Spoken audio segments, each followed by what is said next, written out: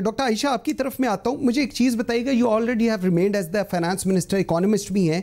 फैक्टिव की कौन सी ऐसी चीज़ें हैं, कौन सी ऐसी शिकें हैं जो अपोजिशन को लगता है कि ये आप लोगों के ख़िलाफ़ हैं या रियासत पाकिस्तान के ख़िलाफ़ हैं और हकूमत वक्त दानिस्ता तौर पर ये इम्प्लीमेंट कर रही है, इसकी रिक्वायरमेंट नहीं है फैटफ की तरफ़ से। क्या कहेंगे इस पर आप जी?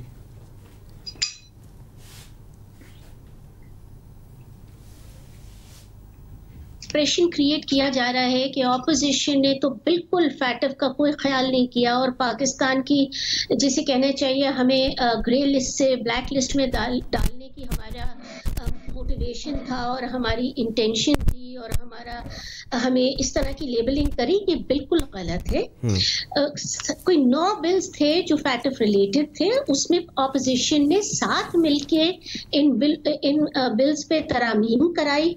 जो नेशनल इंटरेस्ट में हमें लगा हुकूमत ने उसमें से सात बिलों में हमारी तकरीबन सारी बातें मानी। ठीक है। और सिर्फ़ इनसिग्निफिकेंट नहीं बड़ा सिग्निफिकेंट कंट्रीब्यूशन रहा है ऑपोजिशन का इन बिलों के फाइनल करने में।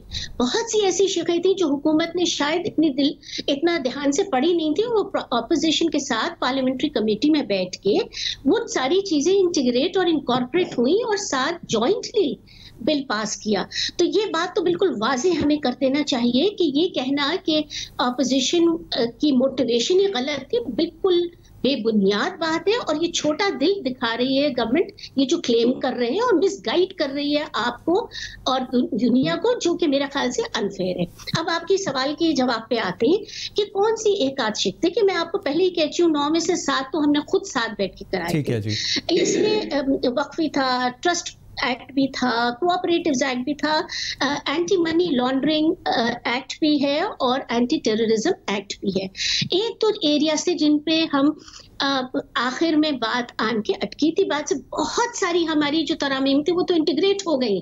देखिए सच्ची बात तो ये है ये गवर्नमेंट को खुद इतराफ करना चाहिए कि ये सब हमने की देखिए अब पॉइंट ये है कि किस इकोनॉमी पे ये आप लेकर आ रहे हैं हम्म। और किस नीयत से ला रहे हैं ये इंपॉर्टेंट बात है।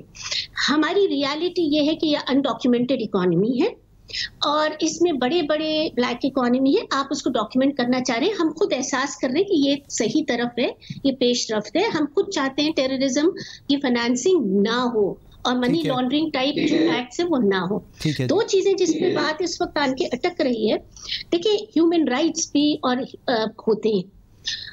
और बिज़नेस को एक कॉन्फिडेंस की इन्वायरमेंट आपको प्रोवाइड करनी होती है। अगर इकोनॉमी पे लोग आते हैं और बिज़नेस करते हैं पैसा लगाते हैं अपने दिन की सेविंग्स अपनी ज़िंदगी की सेविंग्स इन्वेस्ट करते हैं उनको एक इन्वायरमेंट ऐसी चाहिए होती है जिसमें वो फील सेफ़ करें कि अगर वो सही राह पे चलेंगे और सही लॉफुली अपने बिज़नेस एक्टिविटी कैरी ऑन करेंगे तो उनको डरने की कोई बात नहीं है।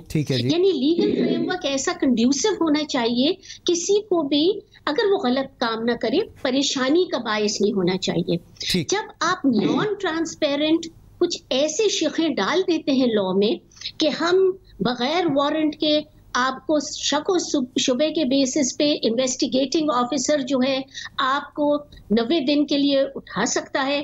फिर उसके बाद बगैर किसी वारंट के आपको और नब्बे दिन के लिए रख सकता है। यानी effectively for 180 days you are missing person अच्छा अब ये कोई इसमें ना कोर्ट का ऑर्डर है ना कोई वारंट है बस ये आपने एक सेक्रेटरी इंटीरियर ने कर लिया और हो गया एक डॉक्टर साहब एक मिनट डॉक्टर साहब मुझे जरा एक मिनट इधर मुझे जरा पॉइंट बाय पॉइंट थोड़ा हम इस पे चलते हैं।